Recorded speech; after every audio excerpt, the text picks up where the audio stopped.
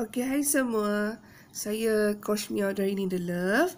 Uh, kita sedang berada pada part yang seterusnya untuk membuat Japanese knot. Eh. Um, Japanese knot ni, satu tangkainya dia akan bersambung balik kepada mana anda mula. Okay, so satu lagi pendek, satu lagi panjang. Eh. Metodnya sama. Okay, so sekarang ni saya akan ajar anda di mana anda nak letakkan anda punya uh, gagang panjang dan gagang pendek ni uh, dia kena ber, bertentangan eh. Okey, macam ni, bertentangan macam ni. So kalau anda buat lima empat pun empat petal, so ada ada empat penjuru lah. So anda boleh pilih salah satu penjuru. Katalah anda buat lima ataupun mungkin anda buat uh, enam. So uh, kena carilah tiga tiga. Uh, kalau lima dia akan uh, anda kena pandai-pandai lah sesuaikan. Uh, tapi untuk permulaan ni dia akan buat kat sini ya. Eh. Okay, ni adalah puncak yang saya kata kita stop tadi kan. Okay, ni adalah chain uh, chain space anda. So kita nak di kita nak guna 5 stitch tu dua uh, di tengah-tengah eh. So ni chain space ini agak-agak ni lah dia punya center. So 1 2 3 4 5. Okay. Saya akan tandakan untuk bagi anda nampak.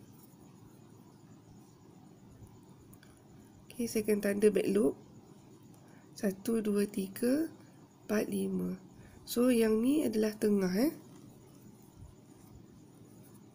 Satu, dua, tiga, empat, lima. Okay, saya tanda dekat back loop. Okay. Kenapa saya tanda dekat back loop? Sebab uh, handle handle yang pendek ni, saya panggil handle pendek lah. Handle pendek ni kita akan buat dekat front loop. Okey, sebab back loop ni kita nak gunakan untuk cantumkan dia nanti. So, tadi kita dah buat sampai sini kan. So, tak kisahlah mungkin ada kat sini ke semua.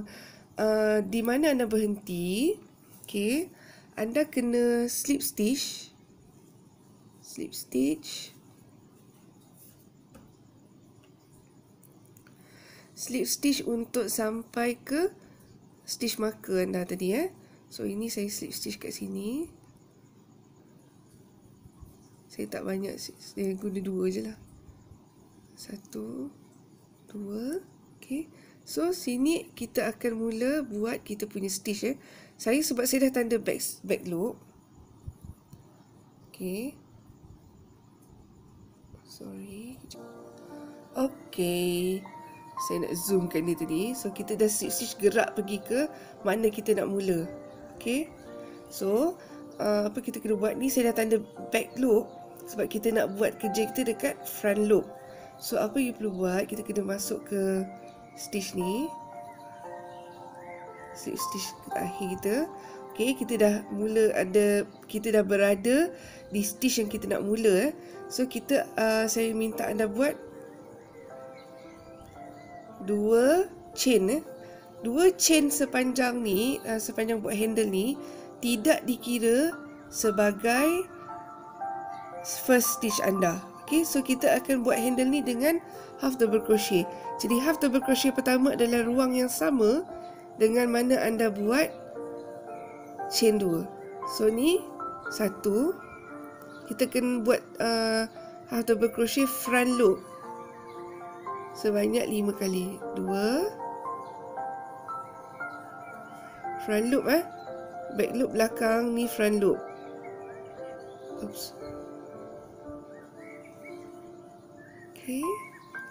So, the half double crochet yang terakhir. Front loop saja. Okay. Alright. So, belakang ni ada back loop. Kita tinggalkan untuk kita sambung dia ni. Sebab dia macam gelung. Eh? Kalau anda perasan dia macam gelung. Okay. Okay. So, kalau anda perasan dia macam gelung. Eh? So, kita akan cantum balik dekat back loop ni nanti. Dan kita tak putuskan benang eh. Okay. So, kita uh, saya akan tunjukkan anda cara untuk buat turning sikit. So, kita kena buat 14 eh. 1, 2, 3, 4, 5, 6, 7, 8, 9, 10, 11, 12, 13, 14 row half double crochet. Okay.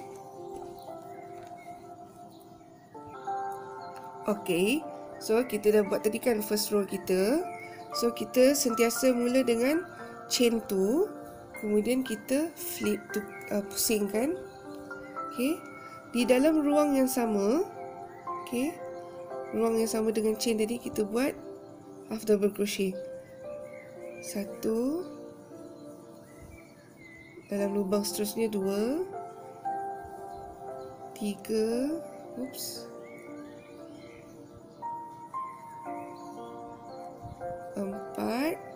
So yang terakhir ni dia agak tricky sikit. So kita nak masuk kat dua-dua loop ni eh. Sebab kita nak kita punya handle tu nampak straight. Okay. So ada lima. So dia nampak straight kan. So chain tu lagi. Okay saya tunjukkan lagi sekali. Alright. So anda masuk dekat first HDC anda adalah ruang yang sama dengan chain tu. Okay, so satu dan dalam stitch berikutnya dua, tiga, empat dan last kali sini lima. Okay, sorry, ada gangguan teknikal. So, tadi dah buat chain tu, half double crochet dalam space yang sama dengan chain tu. Kemudian Satu, dua Tiga Empat. Okay Yang last ni Jangan buat kat sini ya. Ha. Saya suka Pergi ke sebelah sini. Sebab ni dia akan Nampak lurus. Okay So anda chain tu pusingkan dan anda teruskan sehingga anda dapat 14 round. Row eh ni dah 1 2 3 so saya akan teruskan hingga row ke-14 uh, anda pun teruskan juga kita jumpa dekat penghujung row 14 Okey, hai semua. So, saya dah siap row ke-14. Okey. row 14. So, kita boleh kira. 1, 2, 3, 4, 5, 6, 7, 8, 9, 10, 11, 12, 13, 14. So sekarang ni kita akan uh, sambungkan dia kepada back loop tadi eh. So kalau anda perasan tadi kita dah tanda. So saya memang tak akan buka. So kita pusingkan macam ni. Okay.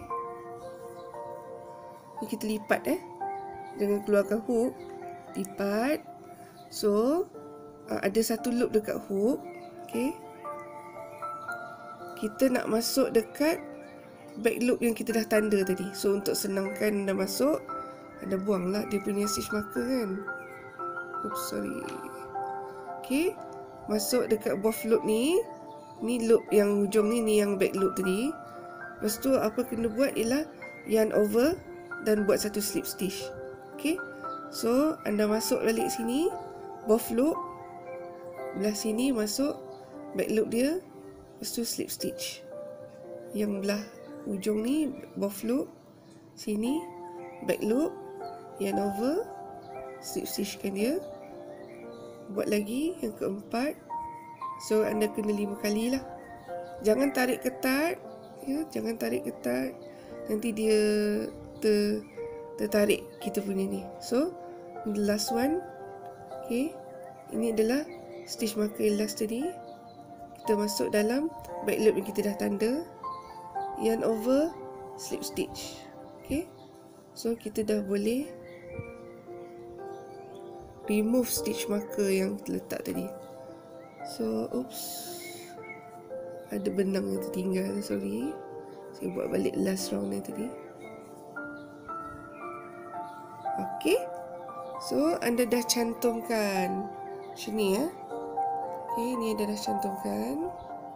So, seterusnya apa anda kena buat? Anda masuk ke untuk securekan dia. Oops, oops, oops, sorry. Ni loop yang sama dengan dia tadi kan. Anda masuk slip stitch uh, sekali. Okay. Okay. So anda dah dapat part pertama daripada loop pendek ni eh. Okey. Seterusnya anda kena kenal pasti kat mana anda nak letak loop panjang anda. Okey. So macam ni tadi dia straightforward lah sebab saya buat empat. Jadi kalau kita lipat dua, saya punya center ni adalah di sini ya. Okey. Saya punya center adalah di sini. So, saya akan cari tengah ni. Okey, macam tadi ulang balik proses. Saya akan cari lima.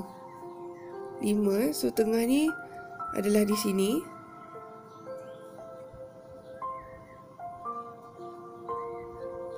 Okey. Ni chain space tengah di sini. So, lima ialah daripada sini lah. So, saya akan buat macam tadi juga. Tanda back loop. Satu, dua, tiga, empat, lima. So kita kan tanda dekat back loop. Okay. So daripada sini. Okay. Apa anda perlu buat ialah anda slip stitch. Okay. Slip stitch daripada sini sampai ke stitch marker yang anda uh, ni yang stitch sebelum stitch marker ni. So saya akan buat ni dan jumpa anda dalam part yang seterusnya untuk membuat long handle untuk Japanese knot. Bye!